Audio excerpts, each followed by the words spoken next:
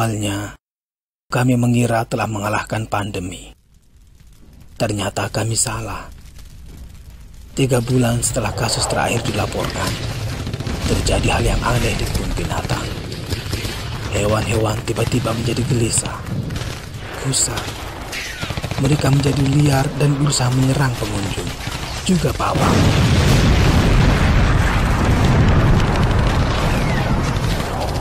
Kami mengira hal itu karena mereka terkejut setelah lama tidak melihat pengunjung.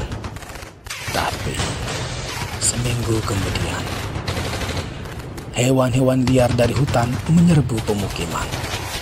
Mereka menerjang, menerobos perumahan, menerkam, dan menewaskan ribuan orang. Lalu disusul dengan para hewan di kebun binatang. Mereka menjadi liar, memberontak, menerjang keluar kandang. Dan tanpa ada yang sanggup menghentikan, hewan-hewan itu menyerbu semua orang. Yang terburuk adalah mereka tak bisa dibunuh. Mungkinkah semua ini karena wabah?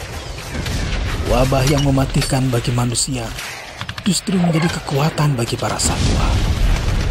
Membuat mereka beringas, haus darah, seribu kali lebih kuat dari sebelumnya dan tak bisa ditembus peluru. Tidak ada kekuatan militer yang sanggup menahan serbuan para hewan. Semua negara jatuh dalam kekacauan. Dalam hitungan hari, ratusan ribu nyawa menjadi korban. Kami kehilangan kontak dengan Malaysia, Singapura, Korea, Rusia, Amerika, dan terakhir, kami tak mendengar lagi Cina.